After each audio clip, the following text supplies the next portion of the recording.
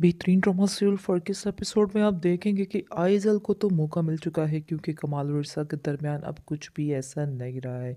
इसके बाद आप देखेंगे कि आइज़ल जो है वो इरसा से कहती है कि, छोटी मामा, मुझे ऐसा लगता है जैसे बाबा पर ध्यान नहीं देते हैं क्योंकि वो समझ चुकी है कि असल गेम इरसा के दिमाग में क्या चल रही है और इस बात का फ़ायदा उठाते हुए ये टेक्निक स्टार्ट करेगी और आप देखेंगे कहेगी कि, मुझे ऐसा लगता है कि वो बिल्कुल भी आप पर ध्यान और तवज्जो नहीं देते हैं। क्या होता कि आप इधर शादी ही ना करती, जिस पर इर्सा खामोश हो जाती है और कहती है कि नहीं, ऐसी कोई बात नहीं है। आगे से आयजल कहती है कि नहीं, आप मुझसे कोई बात छुपा नहीं सकती हैं। जो हकीकत है, वो सामने आ ही जाती है। ये बात हर एक महसूस करता है। इसके बाद इर्सा कहती है कि अब इस पर मेरा क्या कसूर है और मैं अब क्या कर सकती हूँ?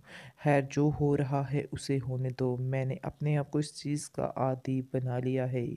इसके बाद वो कहती है कि वो आपके बॉस हैं जो कल आपको पिक करने के लिए आए थे। इस पर वो कहती है हाँ क्योंकि उसको तो समझ आ चुकी है। इसके बाद आप देखेंगे कि आइजल जो है, वो दोस्ती बढ़ाने की कोशिश करेगी दानियाल के साथ, ताकि इर्सा की सारी बातें ले सके और उसको और ज़्यादा, क्या कहते हैं, उसको जलील और रुस्वा करवा सके। इसलिए आप देखेंगे कि आइजल का साथ ज़रूर देगा दानियाल और वो दोनों मिलकर इर्सा का बुरा हाल करेंगे।